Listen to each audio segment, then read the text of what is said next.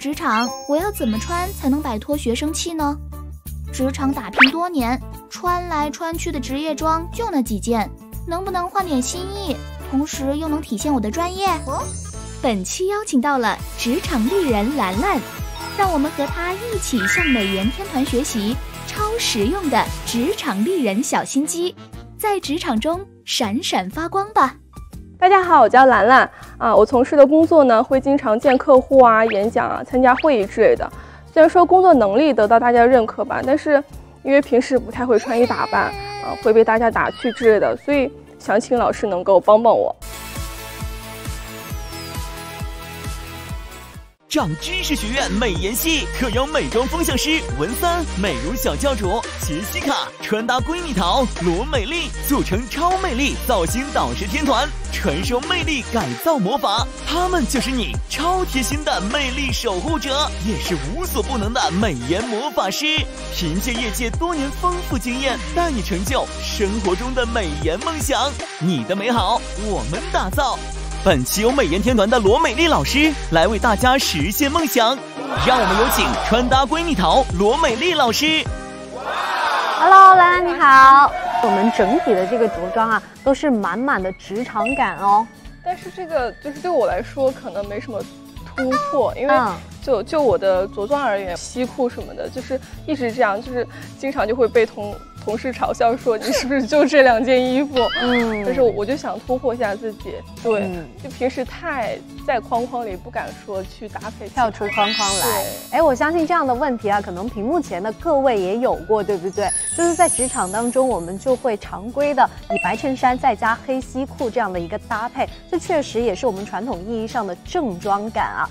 但是我们的职场当中，其实还可以有很多不同花样的一个搭配，同样是保有了我们的一个专业度，但同时也不失个性。那今天就让美丽老师跟大家一一来进行一个分享。那接下来呢，就给大家来进行排雷。首先，这三个风格啊，在职场当中我们是不太适宜去触碰的。如果说今天呢，你要参加公司的一个会议，你穿着这样的一身打扮去的话，会给人一种什么样的感受呢？嗯，我会觉得是不是有点太可爱了？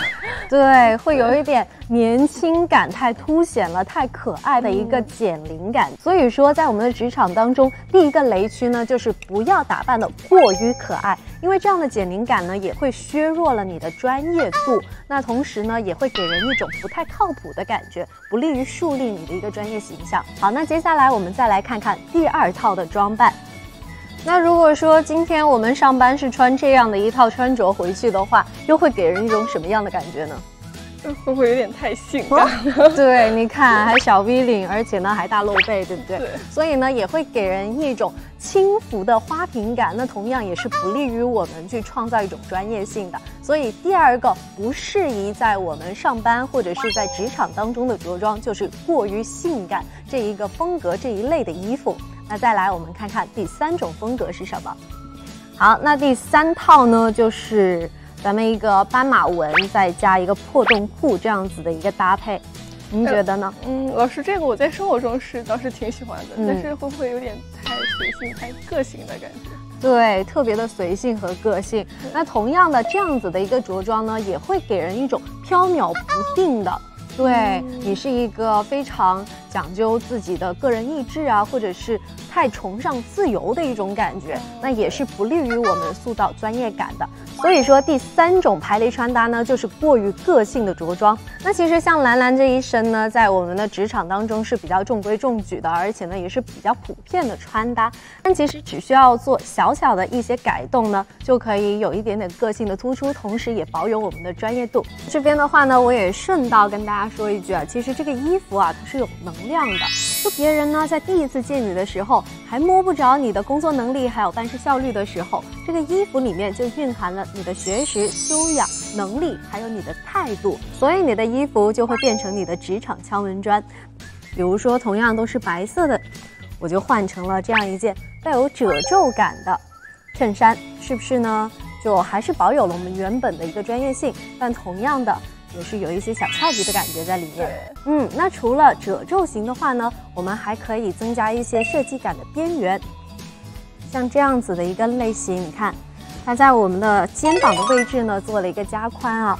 也是会给人一种比较硬挺硬朗的，而且干练的一个感觉。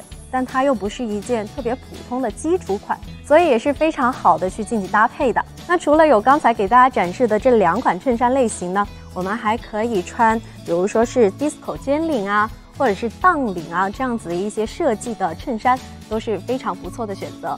嗯，那除了我们的上半身，我们下半身也可以做一些小小的变动，比如说我们可以把黑色的西裤换成像这样子的有设计感的。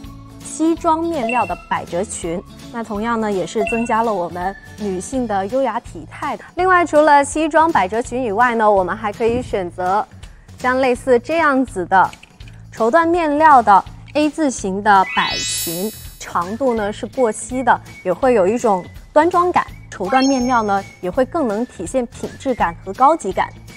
那除了我们上下半身分开以外呢，我们还可以有一个全身的连衣套裙。那比方说是咱们这一种的衬衫裙，你看，在这个衬衫裙上面呢，我们的两只手臂也是加有了一些小小的褶皱设计。那这也是花龙点睛之笔。那除了这个以外呢，那也可以是这一种也是常见的款式了，西装连衣裙，但是它有一点点不同的设计感。是在腰身的位置，它做了一个收腰设计，可以更加突出我们女性的优雅曲线。好，最后呢就是这样子的马甲裙，也是不失我们的专业感的。